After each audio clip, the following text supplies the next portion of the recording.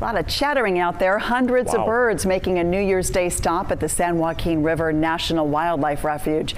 We spotted a few types of geese out there in the fields, among other varieties of birds. One bird watcher took advantage of the blue skies out there to head out today.